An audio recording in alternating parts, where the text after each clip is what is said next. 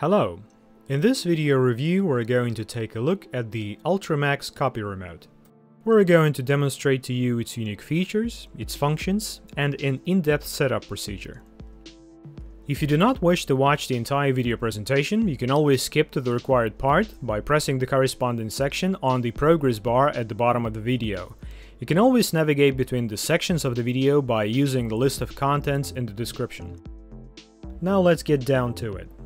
What is the Ultramax copy remote and what makes it stand out? First thing to point out is that it is a multi-frequency remote, which means that it can receive and generate radio signals at 315, 433, 434 and 868 MHz. This remote can emulate the original remotes of 32 different systems. In this mode, it will be paired with the receiver just like the original remotes.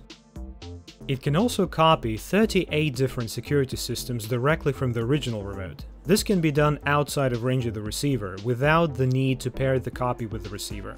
And finally, each button of the Ultramax copy remote can be programmed to copy or emulate any given system at any of the frequencies. And this is not all. We're going to speak about other unique features in detail later in the video. Per default settings, the buttons on the Ultramax copy remote are programmed to emulate the following systems. Button A, Doorhan transmitter. Button B, Alutech AT4N. Button C, Nice Flores. And button D, FAAC SLH 433 MHz. It means that out of the box, the buttons of the Ultramax copy remote are the analog of the above mentioned systems. So you can pair the Ultramax remote with the corresponding automation just like the original remote without any additional setup. To reset the copy remote to the default settings, simultaneously press and hold buttons A, B and D for 5 seconds until the copy remote emits a long flash. Release the buttons to complete the reset procedure. The remote comes with the instruction manual. Inside you'll find Table 2, which is used to set up the remote. We're going to take a closer look at this table to learn how to use it. The first two columns in the table, marked Number and System, show the name of the systems and the place of those systems on the list. In the Emulation column, you'll see plus signs next to some systems. It means that the Ultramax copy remote buttons can be programmed to emulate these systems. These buttons will function as the analogs of such systems. The next column, marked Copying, lists different compatibility modes for each system.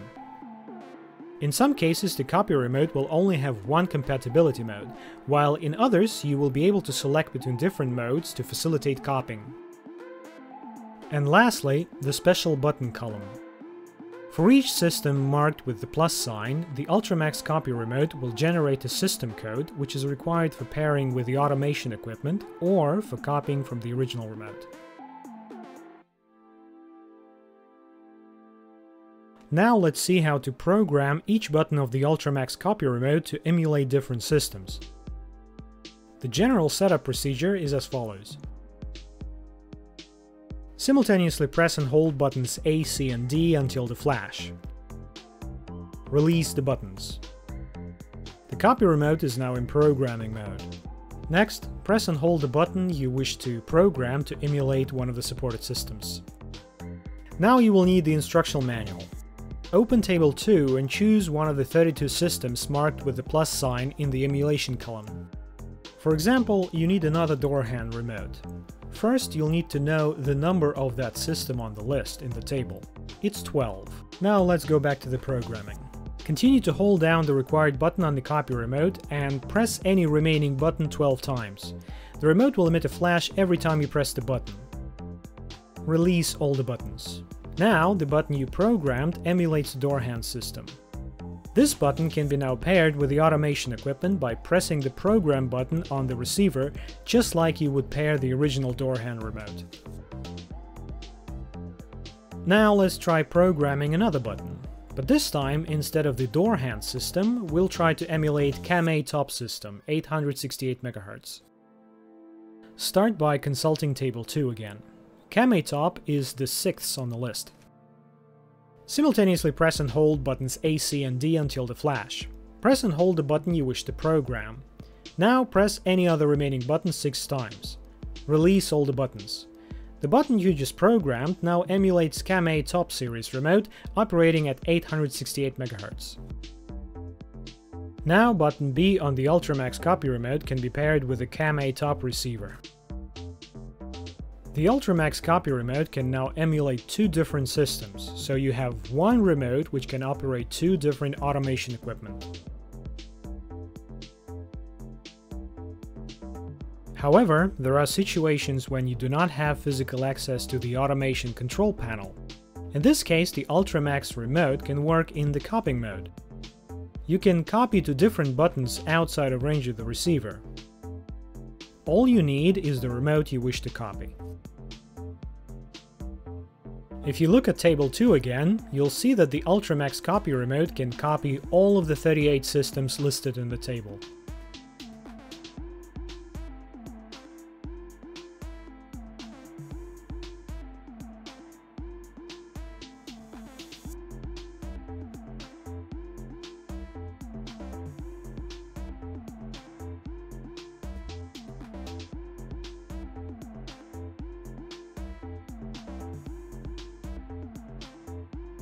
Copying to the Ultramax copy remote is simple.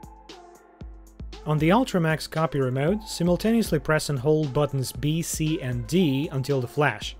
This will switch the remote to the copying mode. Release the buttons. Now press and hold the button to which you want to copy the signal from the original remote. Continue to hold down the same button. Place the Ultramax copy remote face to face with the remote you wish to copy. Then press and hold the button on the original remote for 2 to 3 seconds. The long flash on the Ultramax copy remote will confirm successful copying. After the signal has been copied, release all the buttons. Now try activating the automation equipment with the help of the copy. The copying was successful.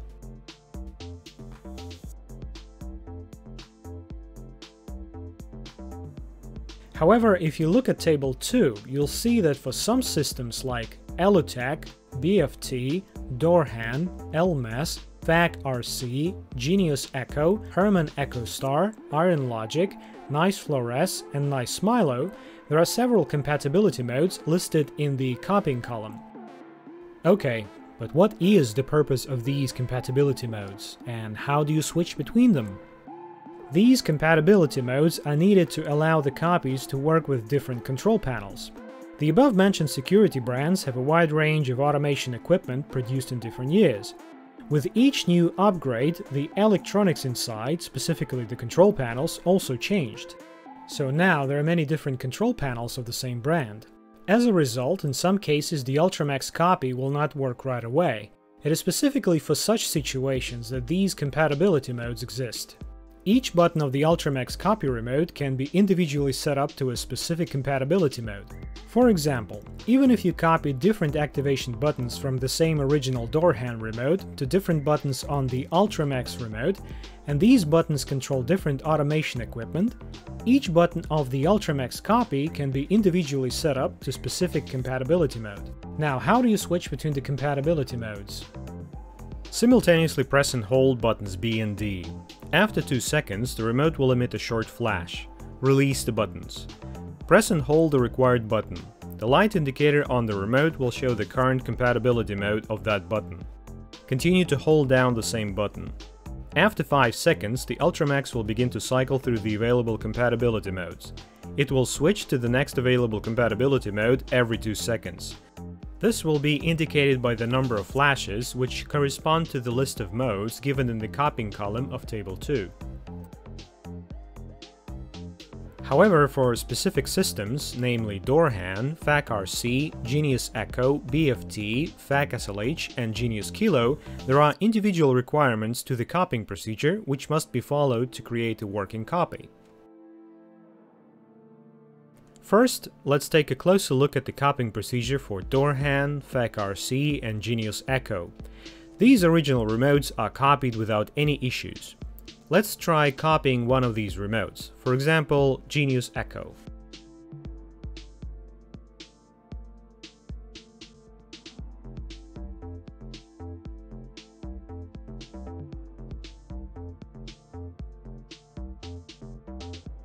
After copying the signal from any of the above-mentioned remotes to the Ultramax, the copy will not work right away. Now, if you look at the copying column of Table 2, next to these systems you'll see lists of compatibility modes. And for each system, the first one on the list is the auto pairing mode. What is auto pairing?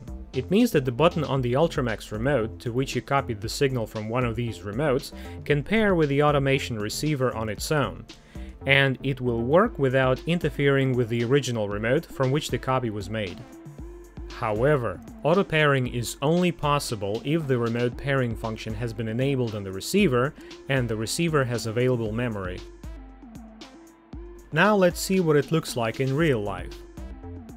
Within the range of the receiver, press and hold the button on the Ultramax to which you copied the signal for about 10 seconds, until the light indication disappears. The Ultramax remote will generate the code of the original remote to try to pair itself with the automation control panel. If auto pairing is successful, after the light indication disappears, the Ultramax copy will activate the automation equipment. Please note that the original remote may stop working after that. Simply press the activation button on the original remote 3 or 4 times, and it will start working again.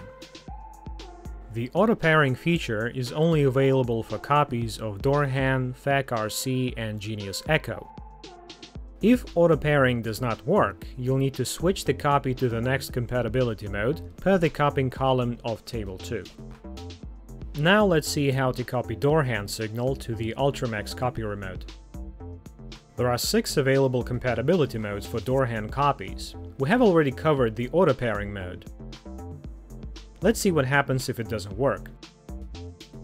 Switch the copy to the next compatibility mode. The second compatibility mode is the so-called chaser mode. In this mode, the Ultramax copy is guaranteed to work with all Doorhan automation equipment. However, in this mode, the copy will interfere with the original remote. For example, if you use the copy 4 times, it will be 4 activations ahead of the original remote. The original will need to be activated 4 times to catch up with the copy. So, you will need to press the activation button on the original remote 5 times to make it work. The formula is the same number of activations as on the other remote plus 1 activation. Now the original remote is 1 activation ahead of the copy, and the copy is falling behind. So if you press the activation button on the original remote n number of times now, you'll need to press the activation button on the copy n plus 1 number of times. So the remotes are chasing each other. We recommend using the chaser mode only if the original remote is in bad condition, or you're not planning on using it, or if no other compatibility mode works. So the chaser mode is not ideal, and if it does not satisfy your needs, you can switch your copy to the next compatibility mode. Continue to cycle through all the available compatibility modes until you find the one that works. Remember to check each compatibility mode by trying to activate the automation equipment several times. Only after making sure it does not work should you proceed to the next compatibility mode. Also, bear in mind that unlike the original remote, there will always be a delay in activation of 3 to 4 seconds. If the current compatibility mode does not work, switch to the next one, and so on.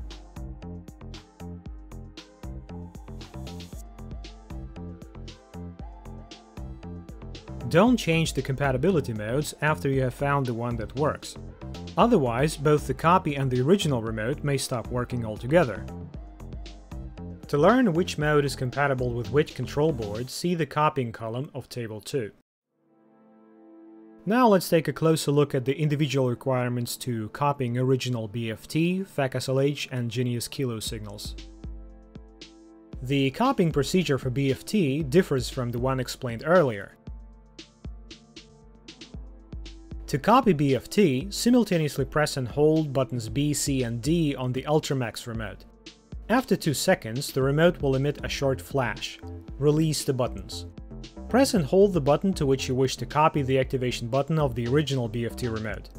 Continue to hold the button and place the remote face to face with the BFT remote.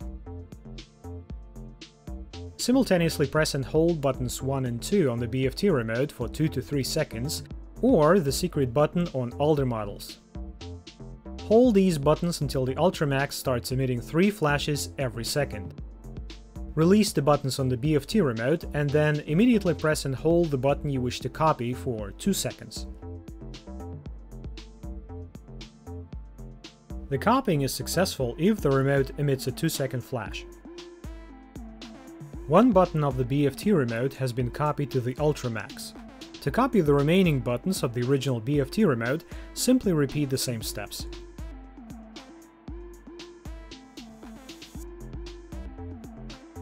Copying procedure for FAAC SLH and Genius Kilo will be the same for both systems.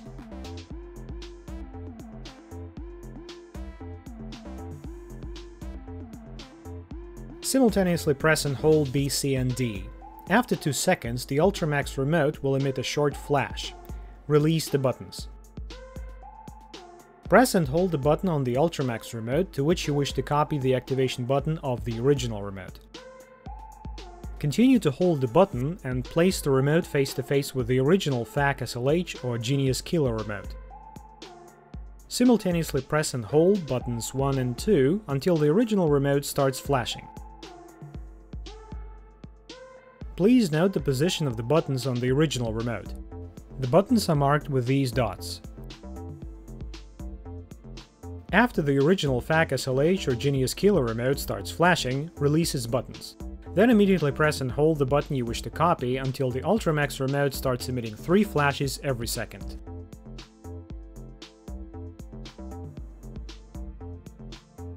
Release the buttons on the FAAC SLH or Genius Kilo remote. Then immediately press the button you wish to copy one more time for 2 seconds.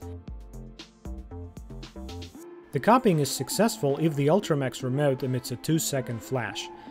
One button of the original FAAC SLH or Genius Kilo remote has been copied to the Ultramax remote.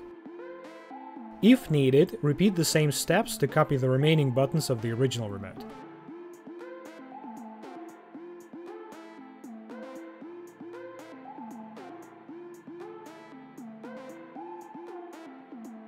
That's about it.